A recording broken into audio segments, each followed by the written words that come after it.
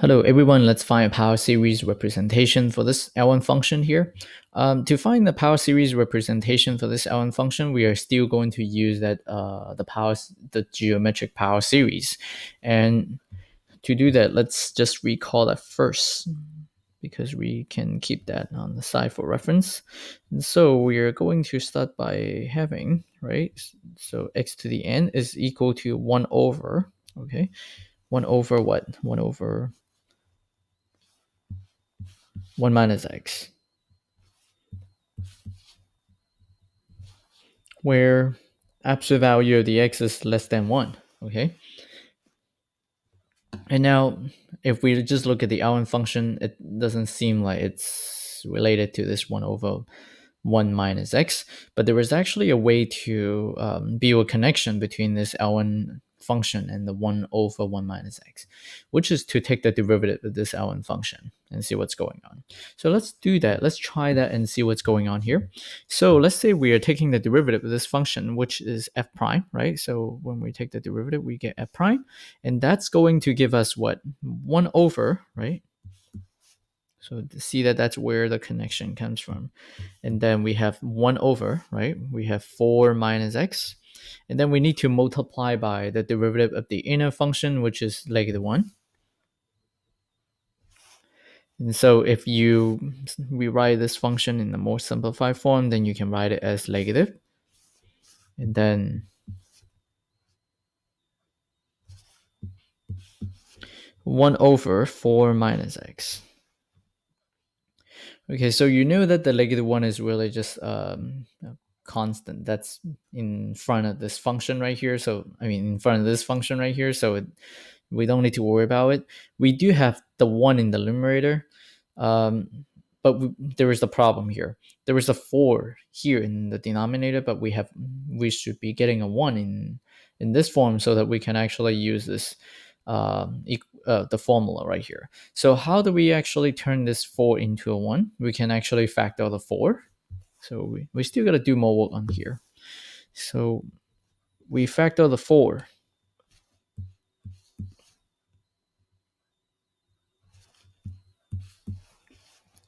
If we factor the 4, then it's just going to give us the 1 right now, right? As you can see here, 4 times 1 is equal to 4. So we get the 1 here, and then minus, and then what do we get in here? We are going to get something times 4 will give us the x and that something must be what do we get here? It's going to be x over 4 so let's check. 4 times 1 is 4 4 times negative x over 4 is negative x. And so that works.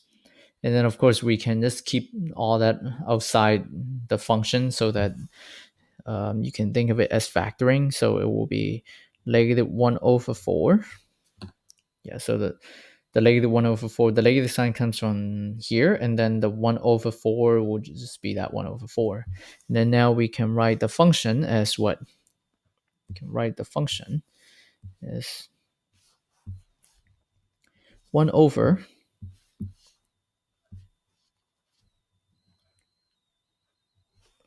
and then we have what? What is that? That's 1 minus x over 4 and so now as you can see we do we do have uh, a part of the whole function that's in the form of this sum for the geometric power series. And so what can we do? We can replace the x by x minus 4 and then we can turn it into a series by changing this x into x minus 4 so let's do that. So if we are doing that then we are going to get negative 1 over 4 then now the series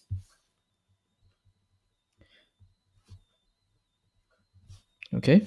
And then we are going to get x raised to the n power. In this case what is x? It's going to be x over 4 so now we turn our f prime into a series. We found a, ser a power series representation for the f prime. Um, but that's not the answer for the f because we're actually finding what a power series representation for the ln function not the f prime right? But we are going to do something to get back to this ln function. So what do we do? Uh, let's try to simplify this first. Okay, so if we are simplifying this, we are going to get negative 1 over 4, and then summation. Let's see what do we get here. Distributing the n power to the x and the 1 over 4, we are going to get x to the n. Okay.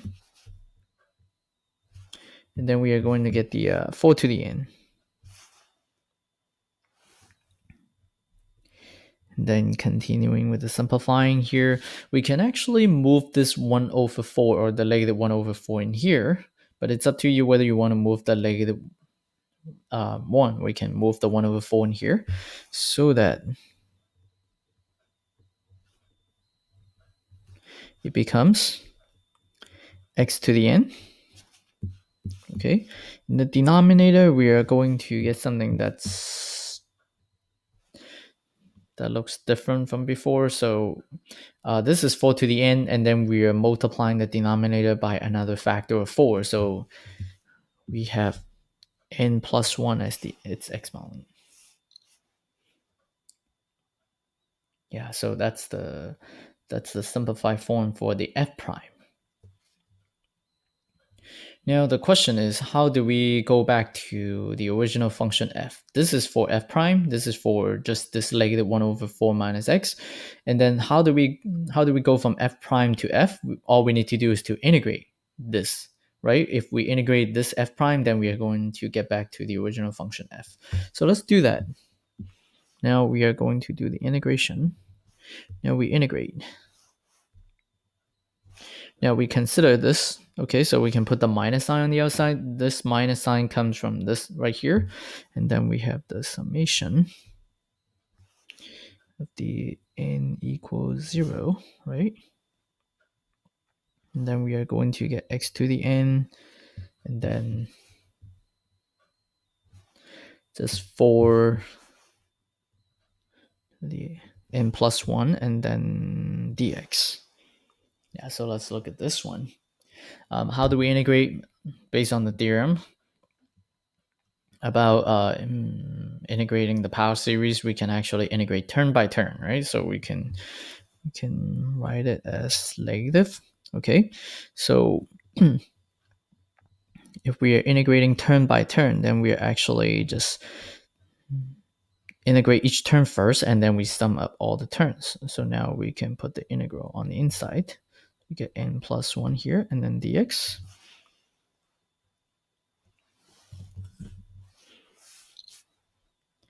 Okay, so now what are we getting here? We have negative summation n equals 0 and then we are going to now remember x is our variable here the n is really just being treated as some number right now so the 1 over 4 to the n plus 1, that's really just a constant.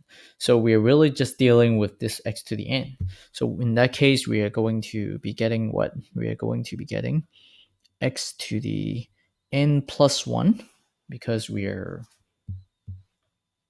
integrating, right? So when we're integrating, we need to add 1 to the power. And then we are going to get, we, we need to divide by that same power. So that's really just n n plus 1.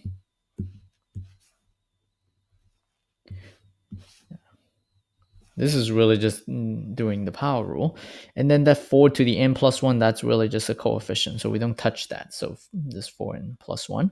And then there was a constant c that we have here.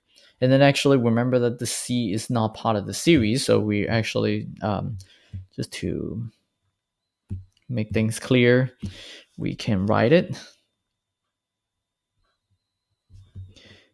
in this form so that you, we know that the C is not included in the series. Okay, so now how do we find um, this constant right here? We can try plugging in a, um, a number in there to to make it work. And so what is a good number that we can plug in there? We can plug in x equals um, 0 in here, right? So let's try plugging in x equals 0 in here and see what's going on.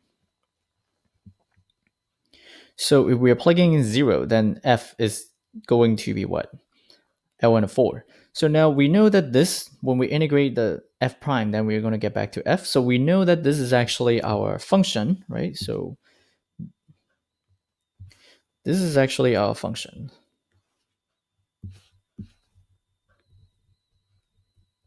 This is actually our function, original function, the Ln function.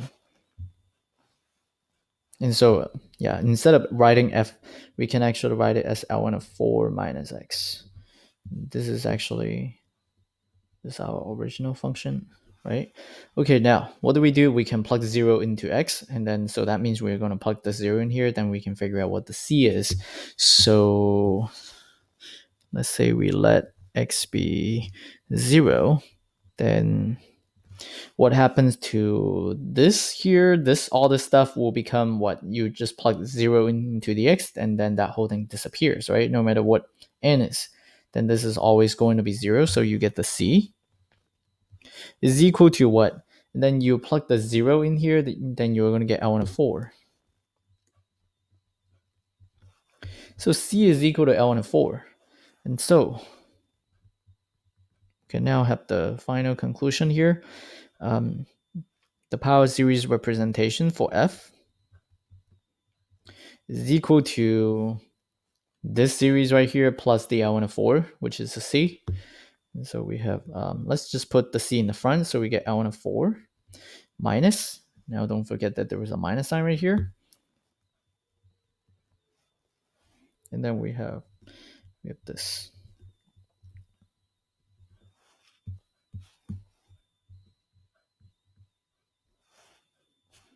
And we need a longer fraction line, I think.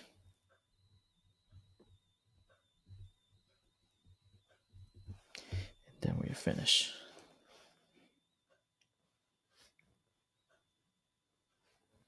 Okay, so this is how this works. So sometimes we have a function that's not in the form of um, this 1 over 1 minus x. And it's for certain functions, then it will be possible for us to either take the derivative of this um, or integrate that function so that we can get a function that's in this form. And then from there, we can actually turn it into a power series and then we reverse the process. So if we initially uh, differentiated the function to get it into this 1 over 1 minus x form, then we actually need to integrate to get back to the original function. And if we initially uh, integrated the function to get it into this 1 minus 1 over 1 minus x form, then we need to differentiate to get it back to the original function. Okay, so that's it for this problem here. And then, and then um, let me see, what else do I need to talk about here?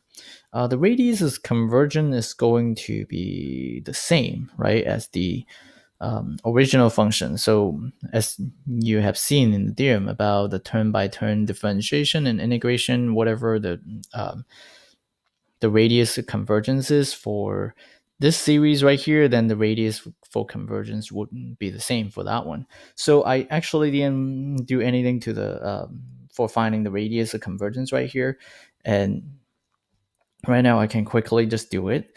Uh, let's look at let's because we have no information about the radius of convergence for the f, right?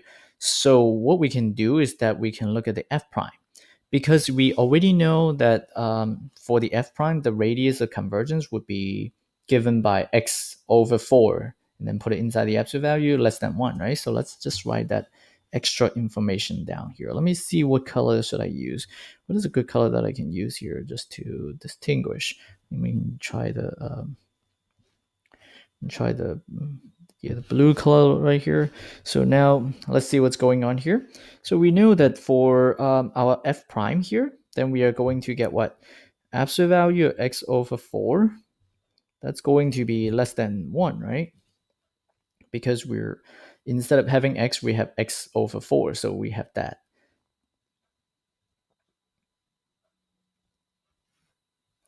And then do you see what's going on here? We are going to we are going to get what?